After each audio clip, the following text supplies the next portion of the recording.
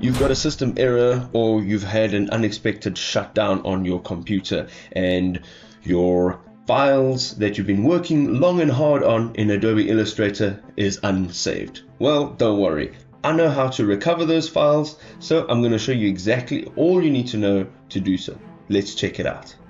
So the first thing we want to do is go up into Edit and we want to go down to preferences and you want to make sure that you're going into file handling.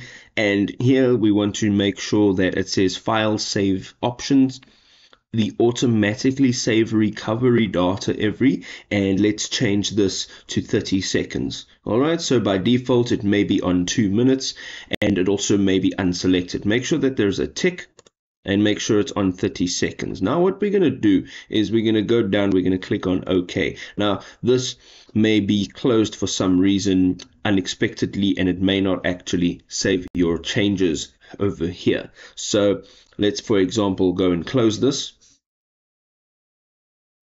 Now from your desktop you're going to go use Windows the button on your keyboard and R. This will bring up the run, okay? And you can type this command in here. It's the percentage icon, app data percentage. Let's hit enter and it'll open up this over here. From here, you are going to look for Adobe.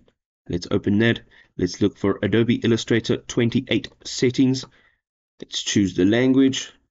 X64 and here you're going to look for data recovery and in here will be your recovery file so you can click on it and open it up over and it'll be opened up in Adobe Illustrator. Now the reason this is not here is because from the time that I closed and didn't save up until now, it has not been 30 seconds, so it is not actually auto saved. However, if it's a little bit over 30 seconds, you'll be able to access it right from here.